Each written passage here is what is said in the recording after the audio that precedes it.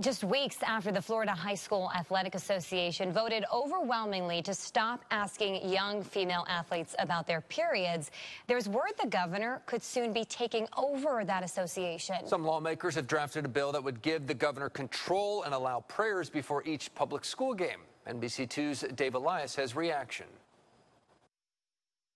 Well, this bill does a couple of things aside from giving the governor complete control over the Florida High School Athletic Association and reducing the 16 member board to just eight board members that the governor would select.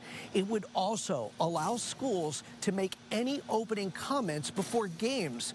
And tonight, opponents say that could have unintended consequences. We need more diversity when it comes to the decisions instead of one person's idea. Amanda Alou concerned the governor could soon be calling the shots in sporting events. I feel like politics should stay in politics and sports should stay in sports. The FHSAA is a private nonprofit organization with 16 board members, most elected. House Bill 225, though, allows the governor to reduce the board to just eight members that he appoints. How can someone who focuses on politics and what they feel is best for our community be able to give the athletic people what they need or or be able to relate to what they need. Should there be some concern that one person is picking everybody to, to represent an entire state? Again, making sure that every county in the state is represented when you only have nine members who are appointed as opposed to elected, um, we might lose some of that diversity of thought.